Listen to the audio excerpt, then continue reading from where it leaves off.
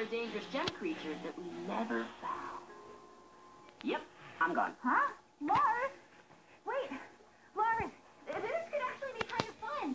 If I'm going to be bored out of my mind and possibly die, I'm gonna go to work and get paid for it.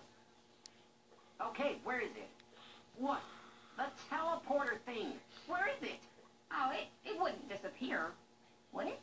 No, no, no. Well, will come save us when they see him missing. Eventually. Steven! How could you do this? We're stranded! Calm down. Is this the worst place to be stuck in? Ugh, you calm down. I'm gonna find better reception. Well, I think it's amazing